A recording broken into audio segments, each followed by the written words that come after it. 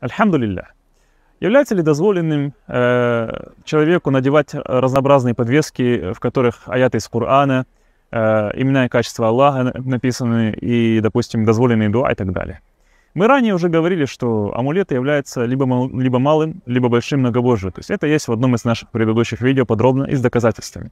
Однако речь в этом видео не шла о амулетах, либо же о подвесках, в которых Коран.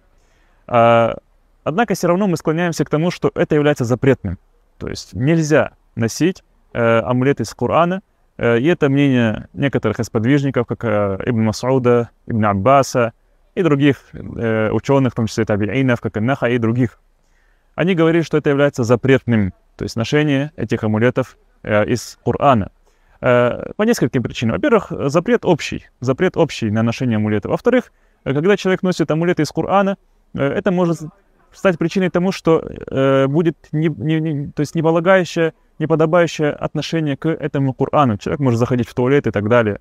Э, также это может стать причиной того, что э, человек увидит, то есть на тебе этот амулет, подумает, что амулеты вообще дозволены, и будет носить, допустим, запретные амулеты, которые являются многобожием. Поэтому мы склоняемся больше к тому, что это является запретным. Кроме того, мы знаем, что сегодняшнее, э, в сегодняшнее время те амулеты, которые продаются в мечетях под лозунгом то, что это амулеты из Корана и так далее, если мы откроем практически все из них, 99, если не все 100% из них, то мы обнаружим, что в них, кроме э, каких-то аятов из Корана, есть много чего непонятного. Какие-то символы, какие-то цифры, какие-то рисунки, пиктограммы и так далее. Что, несомненно, является проявлением колдовства, это является запретом, является многобожием. Поэтому на сегодняшний день э, чистых амулетов из Корана, кроме как человек сам себе напишет, нету. Но даже если напишет, как мы уже сказали ранее, склоняемся к тому, что это является недозволенным. Аллаху Алям.